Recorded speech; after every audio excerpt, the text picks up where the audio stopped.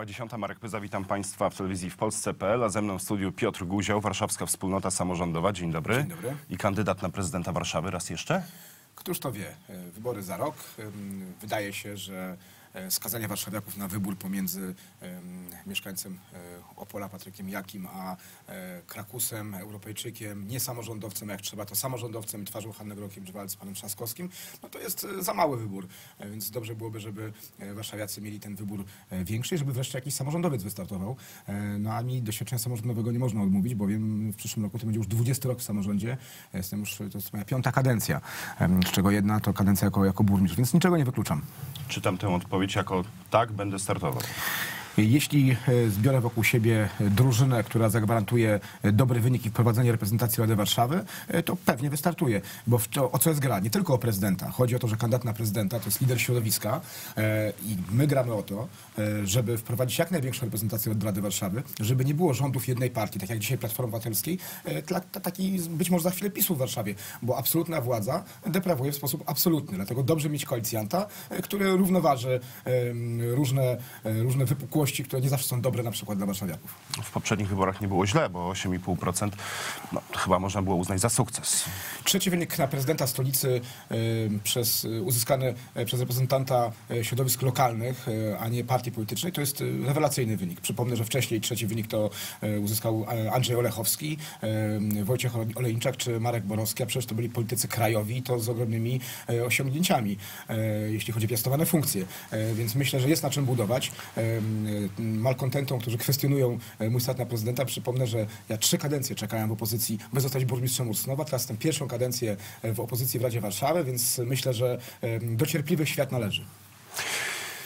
Rafał Trzaskowski, wspomniał pan już o nim, Krakus, Europejczyk. Y, Na razie jest, wszystko na to wskazuje, jedynym kandydatem na prezydenta Warszawy zgłoszonym przez Platformę Obywatelską i popartym y, przez y, Nowoczesną. Chociaż z tym poparciem to chyba nie wiadomo w zasadzie jak jest po ostatnich wyborach w Nowoczesnej i zmianie lidera, bo to Ryszard Petru się dogadywał z Grzegorzem Schetyną i przekonał Pawła Rabija, że trzeba zrezygnować.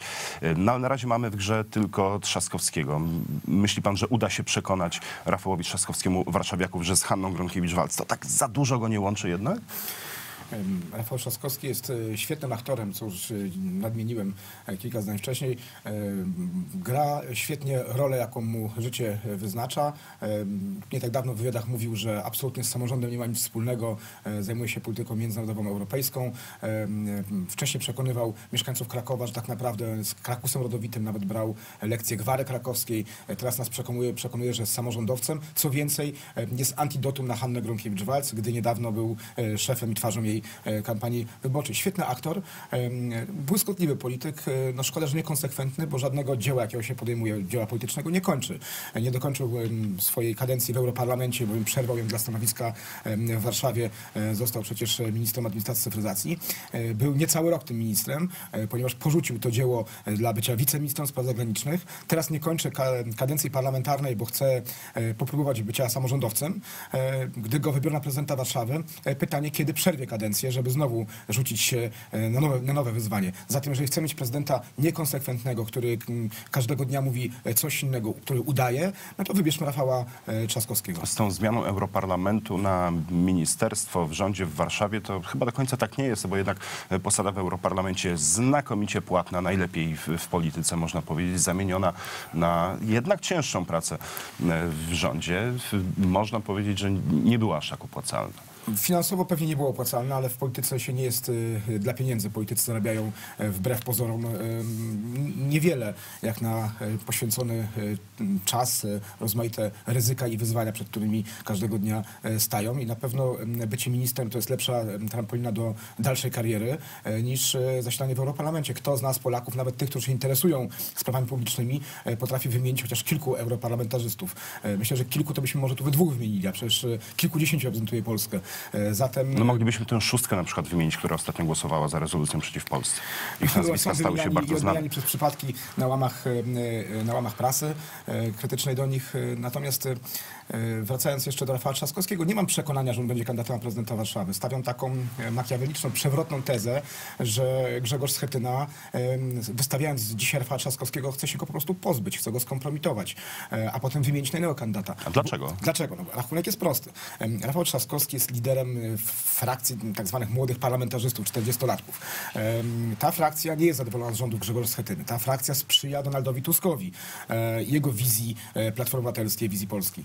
E, Grzegorz Schetyna wystawiając Rafała Trzaskowskiego, jeżeli na, naraża się na, na takie ryzyko, że Rafał Trzaskowski wygra wybory w Warszawie, zostanie prezydentem Warszawy, odniesie sukces, będzie naturalnym kandydatem do schedy po Grzegorzu Schetynie i sięgnie po tą schedę, bo jest politykiem ambitnym. Zatem Grzegorz Schetyna, jeżeli chciałby pozbyć się swojej funkcji, no to musi kibicować Rafałowi Trzaskowskiemu, a przecież tego nie chce. Zatem wystawia go po to, żeby go właśnie teraz spalić, a potem znaleźć kandydata, który połączy różne środowiska opozycyjne. Taką tezę A to, to Trzaskowski o tym nie wie? E, Trzaskowski liczy, że się wymknie e, z tej e, zasadzki i ogra Grzegorza Schetynę. Będzie mu ciężko, bowiem Rafał Trzaskowski znany jest z różnych swoich walorów, natomiast nie z tego, że jest przebiegłym graczem em, partyjnym. On nie jest działaczem partyjnym w takim słowa znaczeniu, że, że, że, że nie piastuje jakichś istotnych funkcji w partii, nie potrafi grać w tą grę. Więc Grzegorz Schetyna, jako weteran ma wszelkie możliwe karty, nie tylko w rękawie, ale także i w talii, które umożliwiają mu ogranie Rafała Trzaskowskiego. A jak pan czyta tę grę z Pawłem Rabiejem? Człowiek, który pierwszy zgłosił się do wyścigu o prezydenturę w Warszawie, kandydat nowoczesnej. Można powiedzieć, że już zaczął prowadzić kampanię, bo de facto tak było. Mnóstwo spotkań y, już organizował. Nagle wycofuje się właściwie w tym samym czasie, w którym cały czas mówi o tym, jakim to y, złym kandydatem będzie Trzaskowskim, jak bardzo byłoby złe dla Warszawy, gdyby Platforma tutaj y, wygrała wybory i że tylko w nim nadzieja. Nagle następnego dnia popiera Rafała Trzaskowskiego. O co w tym wszystkim chodzi? Nowoczesna, y, nowoczesna Ryszarda Petru, bo tak to trzeba nazwać tę tą partię, która powstała e, i do ostatniego zjazdu, gdy zmieniła nazwę, wycinając em, imię, nazwisko Ryszarda Petru z, z nazwy, e, kończy w sposób groteskowy. No, Paweł Rabiej e, pogubił się całkowicie w tym wszystkim, no bo przecież jednego dnia jest żelaznym kandydatem nowoczesnej, innego dnia jest kandydatem, em, ale na wiceprezydenta, nie prezydenta. E, Kilka tygodni temu mówi, że nigdy nie poprze Trzaskowskiego i że to on jest najlepszym kandydatem, a Platforma e, nie ma prawa wystawiać e, swojego kandydata, bo się skompromitowała w Warszawie. Chwilę później popiera Rafała Trzaskowskiego. No jest to groteskowe. Ryszard Petru e, jako lider partii e, wystawia e, najpierw kandydata, potem go nie popiera w sumie, mówi o tym, że są inni lepsi, e, na przykład posłanka Gasiuk-Pichowicz, daje do zrozumienia dziennikarzom opinii publicznej, czyli podważa mandat swojego kandydata. E, następnie Ryszard Petru bez uzgodnienia z nikim w partii e, wycofuje go i popiera Rafała Trzaskowskiego. No śmieszne to wszystko jest. To jest po prostu e, no, no wręcz humorystyczne. No tak się bawią e, nawet nie harcerze, a zuchy. Ja mam wrażenie, że Paweł Rabiej prowadzi jakąś podwójną grę, a może prowadził w ubiegłym tygodniu, jeszcze zanim nastąpiły zmiany w Nowoczesnej. Myśmy zrobili z nim bardzo duży wywiad w środę, kiedy on jeszcze był kandydatem. W czwartek okazało się, że scenariusz się kompletnie zmienia i on chce być tylko wiceprezydentem u Trzaskowskiego. Autoryzowaliśmy ten wywiad. On nie wycofał z niego właściwie ani jednego zdania. Y, Jego część ukazała się w tygodniku sieci. Możemy tam przeczytać o tym, jaki według Rabieja jest plan y, Schetyny na Nowoczesną, a plan w tym skrócie można opisać jako y, pożreć, kłapnąć paszczą, no zniszczyć, krótko mówiąc. I on powiedział, że nie chce się wycofywać z tych słów. Mimo, że popiera Trzaskowskiego, to jednak w dalszym ciągu jest bardzo krytyczny wobec e, tego środowiska. To jest przedziwne. E, Całość tego wywiadu ukaże się jeszcze w tym tygodniu na portalu w polityce.pl. Mm, Ale może zostawmy, jeszcze, e, może zostawmy już Pawła Rabieja, zajmijmy się jeszcze panią prezydent, z którą rok przyjdzie nam żyć w Warszawie. Nie udało się zebrać podpisów y, pod y, wnioskiem o kolejne referendum w sprawie jej odwołania w ubiegłym roku. Pan y, próbował tej inicjatywy. Hanna Gronkiewicz-Walc już wiemy, że nie będzie kandydowała, bo nie miałaby najmniejszych szans, krótko mówiąc. No chyba po tym, co się dzieje wokół afery reprywatyzacyjnej, no ona może tylko się modlić o to, żeby nie skończyła z zarzutami. Mam wrażenie, że opinia publiczna nie dostrzega mankamentów Hanny Gronkiewicz-Walc, bo gdyby dostrzegała, to by już pierwsze referendum okazało się sukcesem. E, Chociaż No właśnie, dlaczego tak się dzieje? Znaczy to jest pff, trudno powiedzieć. Wydaje mi się, że to jest może i wina e, naszych e, elit i stąd być może słusznie, że PiS chce wymienić te elity e, albo dokonać jakiejś korekty e, kursu nasz, naszego kraju, naszego narodu. No bo przecież czymś e, naprawdę dziwnym jest to, że e, przy tym całym odium, jakie ciąży na Hannie Gronkiewicz-Walc, e, ona wciąż ma zagorzałych zwolenników e, wśród e, osób, które są autorytetami, czy ze środowisk e, medialnych, dziennikarskich, e, czy, czy, czy, czy naukowych, e, czy wśród ce- celebrytów, e, czy, czy, czy czy, czy zwykłych warszawiaków. Jakby nie dociera do nich e, to, że e, kupowanie nowych autobusów, e, czy łatanie dziur w jezdni to jest jedno, a bycie przyzwoitym człowiekiem, czy posiadanie pewnej moralności, czy działanie w sposób etyczny, to jest jakby druga sprawa i my musimy politykę oceniać łącznie, nie tylko za bezwzględną skuteczność, której też Hannie Gronkiewicz-Waltz e, brakuje w realizacji budżetu, ale też właśnie w tym wymiarze takim miękkim, a jakże, a jakże ważnym. Tu warszawiacy jakby zamykają oczy, chociaż e, coraz bardziej przebija się do świadomości naszych mieszkańców, to jaką naprawdę jest osobą Hanna Gronkiewicz-Waltz, więc rzeczywiście pewnie szans by nie miała e, żadnych e, startując na prezydenta Warszawy, ale też startować już całe szczęście nie chce. A co ma pan na myśli, mówiąc o, o tym, że ma ona jakieś deficyty w kwestiach moralnych, etycznych? Znaczy, to, to cała kwestia związana z reprywatyzacją to jest y, jeden wielki y, grzech. y, Grzech zaniechania, grzech pychy, grzech niedopełnienia obowiązków, które na nie spoczywały jako na prezydencie miasta. Y, To podlega zarówno pod przepisy kodeksu karnego, ale też można to ocenić moralnie. Przecież to nie jest tak, że Hanna Gronkiewicz-Waltz przez 11, długich 11 lat nie wiedziała o krzywdzie ludzkiej, jaka się dzieje w związku z reprywatyzacją. Nie wiedziała o przekrętach, jakie się dzieją wokół reprywatyzacji. Y, Wiedziała, co więcej, y, można powiedzieć, że kryła nawet em, te przekręty, które dotyczyły członków jej najbliższej rodziny, czyli męża i córki.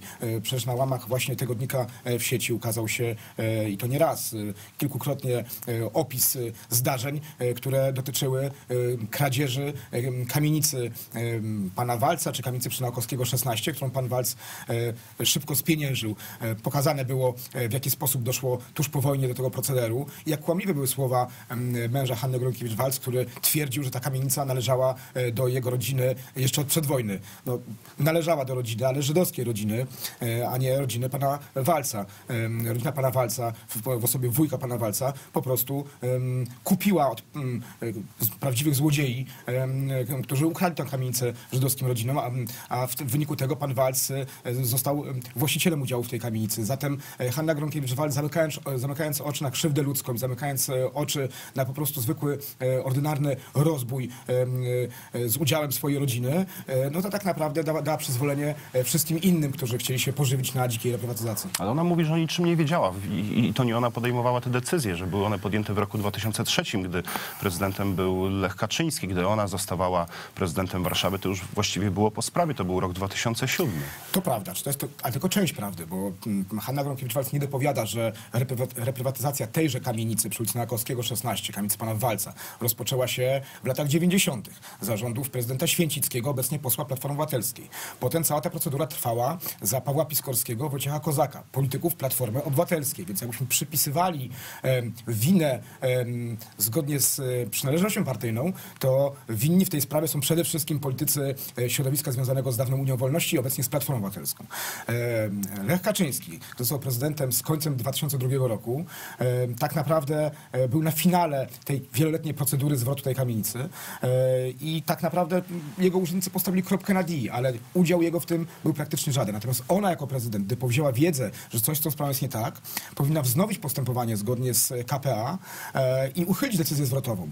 Nie uczyniła tego przez wiele lat. Uczyniła to ostatnio, ale w momencie, kiedy cała sprawa zgodnie z KPA się przedawniła. To prawda i tu jest pies pogrzebany w tej sprawie. y, To, co powinna była zrobić, kiedy powzięła wiedzę, a kiedy powzięła tę wiedzę Hanna Gronkiewicz-Walc jest tutaj najważniejszy powiem więcej, tygodnik y, sieć nie tylko o tym pisał, ale będzie pisał również w najbliższym numerze. Mamy nowe informacje w tej sprawie. Przygotowujemy duży artykuł na ten temat. Już dziś Państwu polecam lekturę najbliższego numeru. Panie Piotrze, jeszcze o ordynacji wyborczej porozmawiamy chwilkę, bo w Sejmie dzieją się dwie budzące duże emocje sprawy. Po pierwsze ustawy dotyczące sądów, a po drugie zmiany w ordynacji wyborczej. Wielu, wiele rzeczy w, w, w tej ordynacji się panu podoba. Nie można panu powiedzieć, że pan jest jakimś gorącym zwolennikiem Prawa i Sprawiedliwości, ale pan mm, chwali za ten projekt ugrupowanie rządzące, choć zarzuca mu słaby PR wokół tej sprawy. To prawda, to co robi Prawo i Sprawiedliwość e, no, budzi kontrowersje, bo Prawo i Sprawiedliwość e, w każdym jednym, w każdej jednej dziedzinie, którą się zajmuje, działa w sposób e, szybki, konsekwentny, często bezpardonowy. E, To się jednym podoba, że wreszcie są zmiany i wreszcie ktoś skutecznie rządzi, E, no ale z drugiej strony e, no, brak tej debaty publicznej, brak udziału społeczeństwa niekiedy i to spowoduje, że projekty nie zawsze są dopracowane. Natomiast jeżeli jest coś do chwalenia, to trzeba pochwalić, trzeba publicznie pochwalić. Ja się dziwię, że Prawo i Sprawiedliwość nie pokazuje tego, co dobre w, tej, w tym projekcie. A te dobre rzeczy to. a dobre rzeczy to budżet obywatelski na poziomie 0,5% obowiązkowy we wszystkich gminach w Polsce. Obecnie jest tak, że te gminy, które chcą, mają budżet obywatelski. Warszawa ma od kilku lat, nie, niebawem kolejna bodajże piąta edycja. W Warszawie jest to mniej niż 0,5%. Em, To jest w obecnej edycji 60 kilka milionów złotych. Natomiast e, 0,5% budżetu pewnie byłoby około 80 milionów. Budżet jest 16 miliardów w Warszawie, więc warszawiacy na to by skorzystali, ale w wielu miastach nie ma w ogóle budżetu obywatelskiego. Druga sprawa, bardzo ważna dla wszystkich mieszkańców, to jest możliwość obywatelskiej inicjatywy uchwałodawczej. Dzisiaj w niektórych gminach w Polsce obywatele mogą wnieść własny projekt pod obrady. E, Muszą zebrać jakąś liczbę podpisów. Em, Radni ustalają, em, ile tych podpisów ma być. W Warszawie jest to aż 15 tysięcy. Zebrać A teraz 15 będzie tysięcy 500. podpisów to jest nie sposób. Bardzo ciężko. E, Dzisiaj to będzie tylko 500 w dużych miastach, e, natomiast w miastach powyżej 20 tysięcy, w gminach powyżej 20 tysięcy tylko 500 podpisów e, i ten projekt będzie musiał być rozpatrzony w ciągu 3 miesięcy. Obecnie nie dość, że mieszkańcy namęczą, e, zbiorą te podpisy, złożą, nie ma gwarancji, że radni się tym zajmą. Tu będzie e, ta gwarancja. E, Co roku wójt, burmistrz, prezydent będzie musiał składać e, sprawozdanie o raport o stanie gminy. Też z udziałem mieszkańców. Mieszkańcy też będą mogli zadawać pytania, być uczestnikami tego przedstawienia raportu. Dzisiaj nie ma takiego, takiego obligo. Czyli tak na dobrą sprawę prezydent Gronkiewicz-Walc w Warszawie w ogóle nie musi nam radnym, ani nam miesz- mieszkańcom opowiadać o stanie Warszawy. Szef komisji rewizyjnej, tej komisji kontrolnej będzie obligatoryjnie z opozycji. Dzisiaj e, szefem komisji rewizyjnej w Warszawie jest e, jeden z bliższych współpracowników Hanny Gronkiewicz-Walc. No to jak on mają kontrolować skutecznie? No to samo sobie oczywiście rodzi patologię. Pewne rzeczy y, w tej ordynacji zaproponowane oczywiście nie podlegają dyskusji, na przykład transmisja z głosowania online. To jest jasne, że to jest to bardzo dobra zmiana. W 2011 roku, gdy byłem burmistrzem Usnowa, e, transmisja online do dzisiaj działa, niemalże we wszystkich dzielnicach funkcjonuje. Oczywiście są też punkty, w których e, e, można mieć wątpliwości. Na przykład dzisiaj radni ustalają e, okręgi wyborcze. Zgodnie z, z nowymi przepisami będzie robić to komisarz wyborczy nominowany przez PKW, która to z kolei będzie nominowana w większości przez Sejm, czyli w domyśle polityczna. Okej, ale powiedzmy, kto będzie w Sejmie nominował członków PKW? No bo nie więcej niż trzech członków będzie mógł zgłosić jeden klub na dziewięciu członków w całej Państwowej Komisji Wyborczej. W porządku. Y, Natomiast ten argument y, o upolitycznieniu jest o tyle słaby, że Rada Miasta dzisiaj jest też polityczna. No, choćby w Warszawie rządzi Platforma Obywatelska. No i to Rada Miasta w swojej większości, czyli Platforma Obywatelska, ustala nam okręgi wyborcze. No to też jest to ciało polityczne. No więc y, tak na dobrą sprawę, czy to będą być politycy pochodzący z parlamentu, czy politycy samorządowi, to i tak to są politycy. Więc argument dla krytyków dosyć słaby. Ostatnia kwestia w związku z ordynacją, co z likwidacją JOW-ów w wyborach do rad gmin y, w mniejszych No ośrodkach? to budzi naj- najwięcej e, kontrowersji. To znowu jest taka debata, no, gdzie ciężko znaleźć e, jakby złoty środek, no bo jowy generalnie są czymś dobrym. Ja uważam, że w małych gminach powinny być jowy i że to jest błąd, e, że likwidujemy, e, bowiem e, w małych gminach wybieramy konkretnych ludzi rzeczywiście. Ciężko tam się zorganizować w listę polityczną. To ja panu zacytuję doktora Adama Gędźwiła z Uniwersytetu Warszawskiego, eksperta programu Masz Głos, Masz Wybór Fundacji Batorego, czyli organizacji, no, można powiedzieć, walczącej z PiSem. Ten człowiek mówił w 2015 roku tak. Wyraźnie skorzystały y, na Jowach komitety wyborcze burmistrzów. Znacznie więcej jest gmin, w których komitet burmistrza ma większość bezwzględną w Radzie. Można powiedzieć, że wzmocnił się więc jeszcze bardziej system prezydencki w gminach. Może to rodzić problemy z kontrolą poczynań burmistrzów przez radnych. Tutaj podał y, przykład Kutna, y, gdzie... mm, Komitet, y, kandydaci na radnych wystawieni przez Komitet Wyborczy ubiegający się o reelekcję Zbigniewa Burzyńskiego zdobyli niecałe 39% głosów, wygrali jednak w każdym z 21 okręgów wyborczych, zdobywając wszystkie mandaty w Radzie Miasta, a zatem 61% głosów no, poszło do śmietnika. Już tak świetnym systemem nie jest- będzie tej możliwości. Świetnym systemem jest system e, niemiecki wyborów do Bundestagu. To jest system mieszany. Oddaje się dwa głosy. Głos na listę partyjną, który ma spowodować, żeby właśnie była reprezentacja różnych jakby poglądów politycznych e, w Bundestagu i głos na, na osobę, E, A to z kolei służy temu, żeby osoby bardzo wyraziste, które nie mają dużego zaplecza politycznego, ale same w sobie są, przebijają się swoimi poglądami, żeby też znalazły się w tymże Bundestagu. Ja myślę, że wprowadzenie ordynacji mieszanej e, w samorządzie kiedyś w konsekwencji nas czeka. Mam nadzieję, że przyłoży do tego kiedyś za ileś lat do przodu rękę. Kończymy rozmowę. Piotr Guział biegnie na posiedzenie Rady Warszawy, gdzie będzie się decydować bardzo ważna kwestia, bo plan zagospodarowania przestrzennego Śród- dla południowego Południowego. Śródmieścia. W rejonie ulicy Poznańskiej będzie bardzo em, gorąca dyskusja i debata. Chodzi o to, czy e, powstaną kolejne wieżowce e, w rejonie e, Mariota, czy, czy nie powinny? powstaną. Jeżeli budować gdzieś wieżowce, to budować e, w centrum. Tu jest niezbędna infrastruktura do tego, żeby wiele osób mogło tutaj przybyć e, do pracy czy, czy, czy spędzać czas. E, Nie po to wydaliśmy miliardy złotych na taką infrastrukturę, żeby ona miała służyć niewielu ludziom. Więc wieżowce jak najbardziej, ale dyskutujmy o każdym z nich, bo ci, którzy są przeciwnikami tych wieżowców, też mają swoje racje. To jest historyczne centrum Warszawy, zatem omawiajmy każdy z wieżowców odrębnie, ale sądzę, że dzisiaj plan przejdzie, bo Platforma Obywatelska ma większość, a jest za tymi wieżowcami. Bardzo dziękuję. Piotr Guział. Warszawska Wspólnota Samorządowa, radny Warszawy, był gościem telewizji w Polsce.pl. Jest 22 minuty po 10. Za chwilę przegląd prasy.